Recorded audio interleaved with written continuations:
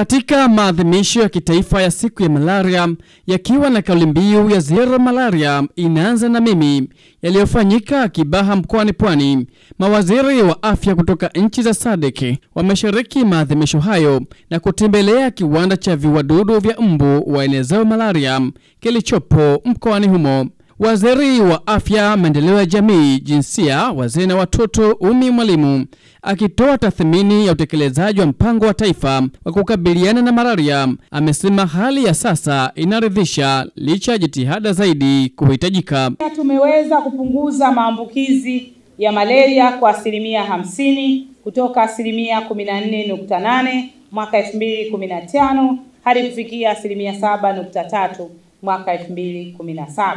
Ndugu wananchi, kutokana pia na jitihada ambazo tumeweka, tumeweza kupunguza idadi ya vifo vitokanavyo na malaria kwa asilimia sitini na tatu kutoka vifo elfu sita mia saba thelathini na saba kwa mwaka elfu mbili kumi na tano hadi kufikia vifo elfu mbili mia tano arobaini kwa mwaka elfu mbili na kumi na nane. Lakini kwa kushirikisha wenzetu katika region yetu ya SADC, sasa ni wakati wa kutenda.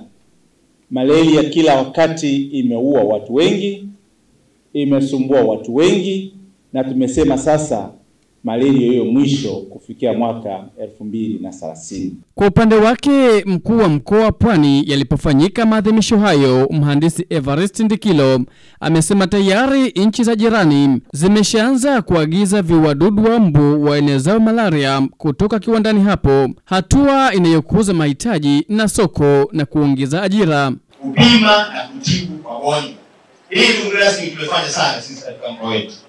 Lakini la pili, kuwapa tiba kinga, yaani dawa ya ASP, wajawazito wote wanahudhuria kliniki.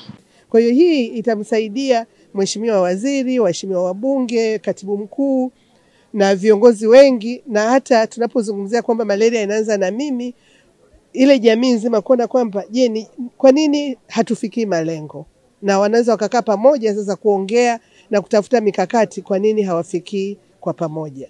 Mawaziri wa afya kutoka nchi zinazounda jumuiya ya Sadiki wapo jijini Dar es Salaam wakiendelea na vikao vya kujadili mipango ya pamoja ya maendeleo ya sekta ya afya katika huduma na vifaa tiba. Michael Noeli, Star TV.